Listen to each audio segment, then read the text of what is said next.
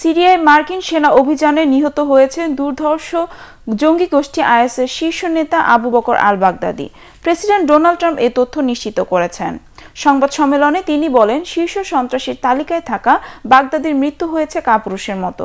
Trump জানান, অভিযান শুরুর পর তিন সন্তান সহ একটি সুড়ঙ্গে ঢুকে আত্মঘাতী বোমার বিস্ফোরণ ঘটায় বাগদাদি। ডিএনএ টেস্টের মধ্য দিয়ে বাগদাদির পরিচয় নিশ্চিত হওয়া গেছে বলেও জানান তিনি। বিস্তারিত সাদিয়া মাহাজাবিন ইমামের রিপোর্টে। অবশেষে নিশ্চিত হল আইএস জঙ্গি নেতা আবু বকর আল বাগদাদির মৃত্যুর খবর।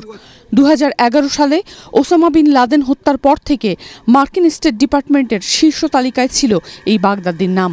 রবিবার প্রেসিডেন্ট ডোনাল্ড ট্রাম্প গণমাধ্যমের সামনে জানালেন শনিবার রাতে সিরিয়ার ইদলিবে নিখুঁত অভিযানের কথা। উত্তর পশ্চিমাঞ্চলে বিশেষ বাহিনীর মিশন দুঃসাহসিক উল্লেখ করে ট্রাম্প বলেন এ অভিযানের লক্ষ্যই ছিল বাগদাদিকে হত্যা করা.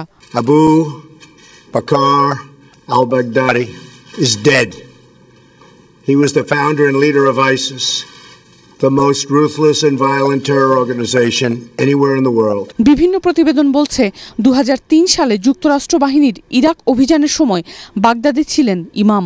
দু হাজার চোদ্দ সালে ইরাক, সিরিয়া ও লিবিয়ার বিস্তীর্ণ এলাকায় খেলাফত প্রতিষ্ঠার ঘোষণা দিয়ে সবার নজর কাড়েন এই আবু বকর বাগদাদি।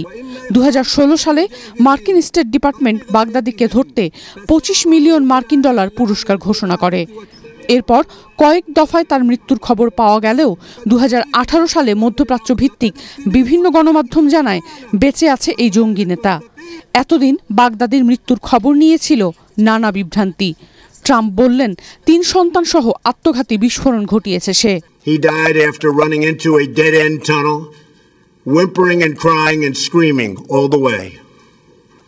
The compound had been cleared by this time, with people either surrendering জঙ্গি গোষ্ঠী আইএস প্রধান আবু বকর আল বাগদাদির গোপন আস্তানায় শনিবার যুক্তরাষ্ট্রের চালানো হামলার ভিডিও প্রচার করেছে ইরাক। দেশটির রাষ্ট্রীয় টেলিভিশনে এ ভিডিও সম্প্রচার করা হয়। সাদিয়া মাহজাবিন ইমাম, এটিএন বাংলা।